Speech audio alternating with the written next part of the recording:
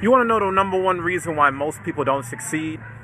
Is because their ambition doesn't match their work ethic. They want to do great things, but they're not willing to work for greatness. And to whom much is given, much is required. I'm out here in North Austin right now at the Domain, biggest shopping plaza, nicest shopping plaza out here in North Austin. Just checking out some of the sites before I call it a night for the week. But I really wanted to be able to do this video for you to talk to you about the number one reason why most people fail. You know, everybody wants to dream big. You know, it, it's easy for people to want the nice house.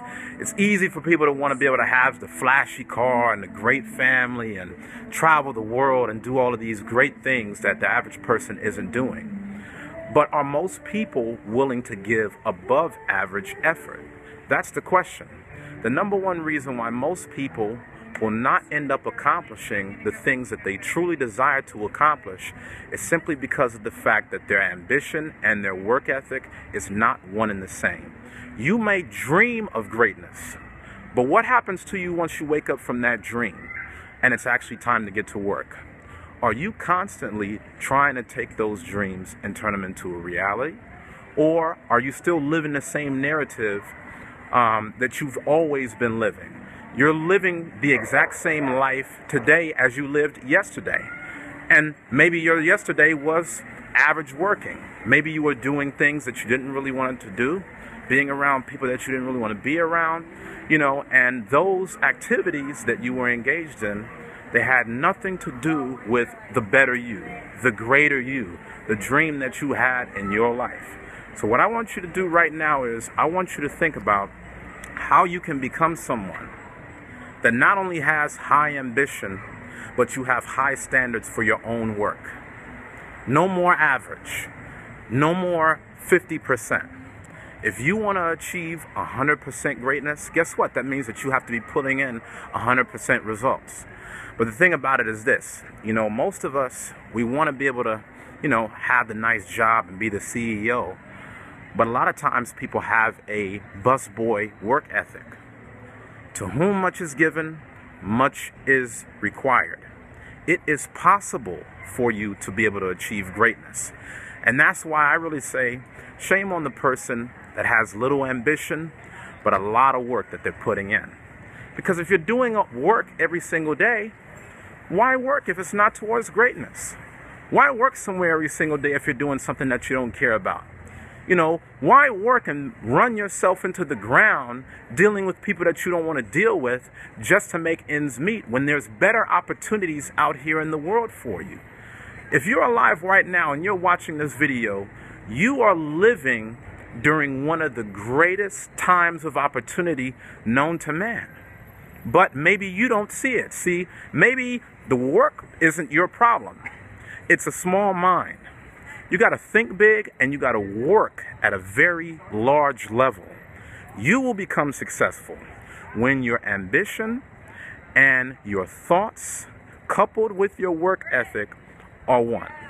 So I want you to leave me a comment below and I want you to tell me a time where your eyes were bigger than your stomach. You know what? Maybe you wanted to be the person that wrote your own book. But then once it got time to you actually doing it, you gave up because you realized, you know what? I'm not the person that will work hard enough to sit down at a computer screen and actually type out a book.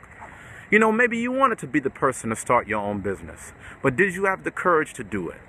Did you actually have the drive? Were you able to actually overcome all the doubters and the naysayers when they told you otherwise? You might have had the ambition and you might have had the dreams, but did you have the drive? See, look behind me right now. Right now, I'm standing in front of this Rolex store. All Rolex is is the thought of somebody else. Somebody else had ambition to create the company that we know today as Rolex, one of the highest luxury companies in the world. That all started with somebody's ambition. But the thing is, it didn't end with somebody's ambition. It ended with work, preparation, blood, sweat, and tears, focus, discipline, stamina, endurance. These are all tools that you have, but you're probably spending them right now on the wrong thing. The same energy that you're having right now, getting into confrontations with people, use that towards building your dream. The same energy that you're using right now to deal with people you don't want to deal with at a job that you hate, channel that energy and put it towards your dream. Nobody else is going to do this for you. Understand what I'm saying? Listen to me good. Nobody else is going to do this for you. You have to be the one that says, you know what? I've talked about what I want to do long enough. I've come up with enough New Year's resolutions long enough. I've talked and, you know, chatted with people about who I thought I could be, what I thought I could become, and I've seen no results long enough. Now I got to cut the crap and I got to back up the talk and I got to walk the walk. Talk is cheap, okay? And if you read my new book that I just came out with, The Valedictorian That Still Lives at Home with Mommy and Daddy, you know what I always say. Skills pays the bills. I got that from uh, Floyd Mayweather, one of the best at what he does. You got to be skilled because it's not enough for you to just have high ambitions. You have to have high skills. You have to have high drive, high work ethic, okay? So I want you to leave me a comment below and I want you to tell me about a time where you found yourself dreaming for something, but then once you got up from that dream, you didn't actually get to work. You didn't actually step up and say, you know what? It was good that I was that was a good thought. Let me turn it into reality. You got to know how to be able to create the world based upon your dreams. Why leave it as a dream? You can take a dream and turn it into your reality. Steve Jobs did it. Henry Ford did it. You know, Thomas Edison did it. When are you going to do it? When are you going to be the next inventor? When are you going to be the next person that's a success story? It's all up to you. I want you to leave me a comment below. And I want you to tell me about a time where you might have had great ambition, but you didn't have the great drive. And I want you to tell me about how you're going to merge the two together to help build your lifetime legacy.